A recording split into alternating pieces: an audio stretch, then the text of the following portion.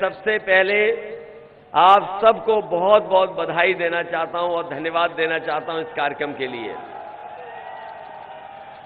मैं देख रहा हूँ जहाँ समाजवादी पार्टी के साथ राष्ट्रीय लोकदल है, वहीं हमारे साथ ओम प्रकाश राजवर जी के भी झंडे हमें दिखाई दे रहे हैं।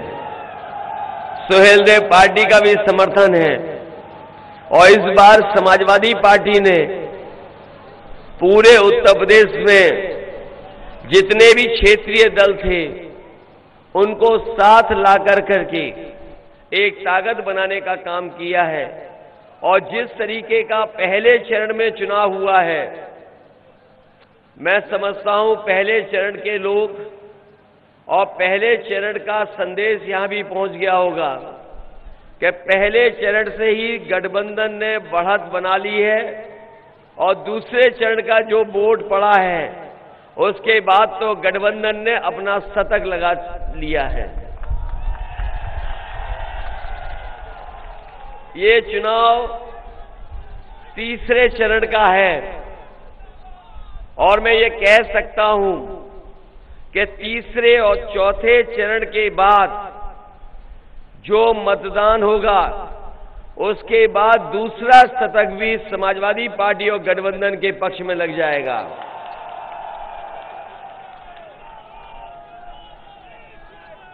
और जो लोग गर्मी निकालते फिर रहे हैं, जो लोग गर्मी निकालते फिर रहे हैं, वो पहले चरण के बाद ही ठंडे पड़ गए उनके समर्थक और नेता। और अभी मैं हमीरपुर आया था, झांसी के कार्यक्रम मैंने किए थे। अभी आपके बगल में कार्यक्रम करके गया हूँ मैं, हमीरपुर, महोबा और झांसी। जो समर्थन मिला है, उसके बाद तो भारतीय जनता पार्टी के नेता कार्यकर्ता सुन्न पड़ चुके हैं। और मैं कह के जा रहा हूँ, ये तीसरे चरण में भारतीय जनता पार्टी के शून्य होने जा रही है, शून्य इसको कोई वोट मिलने वाला नहीं है। मैं इनके नेताओं के भाषण सुन रहा हूँ। मैं इनके नेताओं के भाषण सुन रहा हूँ। बगल में ही बाबा मुख्यमंत्री जी आए थे। उनका मैंने सुना उन्होंने कहा कि उन्होंने न जाने क्या क्या बुंदेलखंड को दे दिया है। बताओ बुंदेलखंड के भाइयों, बहनों, नौजवान साथियों, क्या मिल गया आपको? क्या आपकी आय दोगुनी हो गई? आप इनका घोषणा पत्र उठा करके देखिए। हमारे पत्रकार साथी जानते होंगे ये वही लोग हैं जो कह रहे थे कि किसानों की 2022 तक आय दोगुनी हो जाएगी। बताएँ हमारे किसान भाई, आय किसी की दोगुनी हो गई हो।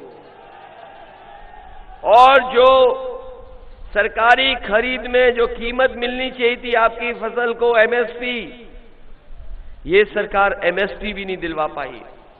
धान की लूट हो गई और कमाई आदि कर दी। महँगाई इतनी बड़ी है जिसकी कोई कल्पना नहीं कर सकता है। बताओ, डीजल, पेट्रोल महँगा हो गया कि नहीं हो गया? और जब खाद की बोरी लेने गए होंगे डीएपी की बोरी लेने गए होंगे, किसान भाई, बताओ, बोरी मिल गई आपको, खाद की कि नहीं मिली? और जब बोरी लाए भी हो गए तो उसमें भी पाँच किलो की चोरी हो गई कि नहीं हो गई? पाँच किलो की चोरी केवल खाद में नहीं हुई है। याद कीजिए, आपके ऊपर 2017 में नोटबंदी कर करके, बताओ आपके पैसे को बैंकों में जमा करा लिया। और बाद में बैंकों से बड़े बड़े उद्योगपति पैसा लेकर के भाग गए कि नहीं भाग गए? आपका पैसा जो जमा था बैंक में, उसकी चोरी हो गई कि नहीं हो गई? और अभी कुछ दिन पहले, एक उद्योगपति 28 बैंकों का पैसा लेके भाग गया। ये पढ़ा के नहीं पढ़ा अखबारों में आपने? जानकारी मिल गई कि नहीं मिल गई? कि 28 बैंकों का पैसा बाईस हज़ार करोड़ से ज़्यादा एक उद्योगपति पैसा लेकर के भाग गया। और ये पहला उद्योगपति नहीं है जो पैसा लेकर के भागा हो। आप बताओ, भारतीय जनता पार्टी की जब से सरकार बनी है बड़े बड़े उद्योगपति बैंकों का पैसा लेकर के भाग गए कि नहीं भाग गए?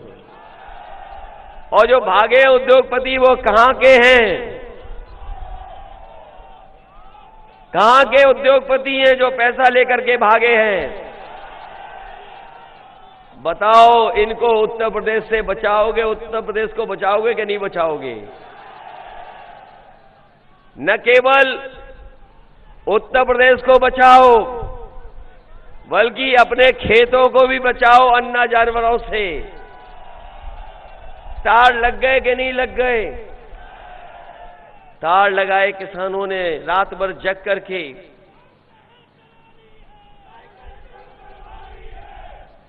तार लगाने पड़े, किसानों को रखवाली करनी पड़ रही है, और हमारे बाबा मुख्यमंत्री का सबसे प्रिय जो जानवर है। बताओ, टक्कर मार करके लोगों की जान ले रहा है कि नहीं ले रहा है? कल मैं फिरोजाबाद में था। एक पिता और पुत्र खेत की रखवाली के बाद अपने घर आ रहे थे लौट करके। सांड ने उन्हें सींग मार करके वहीं पर मार दिया। मैनपुरी गया तो वहाँ पे मार दिया। और जालौन, झांसी कहीं पता कर लो। और बड़े पैमाने पे उत्तर प्रदेश का हिसाब किताब लगा लो। न जाने कितने लोगों की जान जा चुकी है, केवल सांड के ही वजह से और अन्ना जानवरों की वजह से एक्सीडेंट होकर के न जाने कितनों की जान चली गई।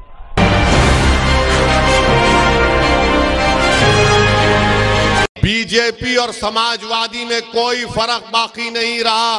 अखिलेश और बाबा एक सिक्के के दो रुख हैं। इनमें दोनों में कोई फ़र्क नहीं है। अगर आप बाबा से पूछेंगे तो बाबा बोलेंगे, ओवैसी, उत्तर प्रदेश में तालिबानी मानसिकता को आगे बढ़ा रहा है। अगर आप अखिलेश से पूछेंगे कि बताओ जो मुस्लिम खवातीन अपनी पसंद से अगर हिजाब और निकाब पहनती हैं तो अखिलेश बोलेंगे, सुनाई नहीं दे रहा है। देखा आपने वीडियो को वो अखिलेश का? अब कब तक इतर लगाएँगे अखिलेश को? मुझे लगाओ इतर, मैं तुम्हारी खुशबू को पूरे उत्तर प्रदेश और पूरे देश में लेकर जाऊँगा। अब इतर लगाना छोड़िए। अब इतर मत लगाइए समाजवादियों को। इनको आपके इतर की अहमियत नहीं मालूम, ना इनको खुशबू मालूम। ये सिर्फ़ गंदगी को पहलाना चाहते हैं, नफरत को पहलाना चाहते हैं। तो इसीलिए आपसे अपील करने आया हूँ कि मुतहिद हो जाइए। ओवैसी और कुशवाहा पूरे उत्तर प्रदेश में एक होकर खड़े हो गए। तो अखिलेश और बाबा की नींद हराम हो चुकी है। ये देख रहे हैं, ये कौन है कि ओवैसी और कुशवाहा एक जगह खड़े हो चुके हैं? तो इनको समझ में नहीं आ रहा कि कैसे इनको रोका जाए। मगर याद रखो इंशाला ताला, अब हम रुकने वाले नहीं है। अब हम आगे बढ़ते जाएँगे और समाजवादी पार्टी के लोग हमारे जाने के बाद जैसा शैतान दिमाग में आके खुश खुश करता है ना वैसा बोलेंगे, देखो, ओवैसी का भाषण तो जज्बाती होता है। कहीं तुमको जज्बात में बहा कर लेकर चला गया तो बीजेपी को फ़ायदा हो जाएगा। कहते हैं ना, अब हम समाजवादी पार्टी का जवाब आपको इस तरह देना है कि मोहतरम अखिलेश यादव की पत्नी 2019 का चुनाव कैसे हारी? हम तो नहीं थे। क्या हम चुनाव लड़े थे? क्या तुमने बीजेपी को वोट दिया? कितनों ने नहीं दिया? हाथ उठाओ। डरो मत। तब भी कैसे जीत गया बीजेपी वाला? हम बोले थे आपको, हमने आकर कहा था यह हमारे अजिन्नात आपके पास आकर कहा था आपको। तो मालूम हुआ आपके वोट से बीजेपी नहीं जीत रही है। आपके वोट से बीजेपी नहीं जीत रही है। अखिलेश यादव का वोटर नरेंद्र मोदी का चेला बनकर गोद में बैठकर चाय पी रहा है। अपने वोट की अहमियत कब होगी? आपके वोट की अब उत्तर प्रदेश में अहमियत नहीं है। अगर उत्तर प्रदेश में, कन्नौज में आपकी वोट की अहमियत होती तो ताहिर हुसैन को अखिलेश घर में नहीं बिठाता। ये बात सच है या झूठ है बोलो? ताहर हुसैन की अगर अहमियत होती तो ताहर हुसैन इलेक्शन लड़ता। मगर अखिलेश के पास न ताहिर की वोट की अहमियत है, न आपके वोट की अहमियत है। ओवैसी कह रहा है कि जब ओवैसी और कुशवाहा एक जगह खड़े हो गए तो आपको अपने वोट की अहमियत जताने का मौका मिल रहा है। कैसे मिल रहा है? सपा को हराओ, बीजेपी को हराओ और यहाँ से डॉक्टर सुनील दिवाकर को कामयाब करो।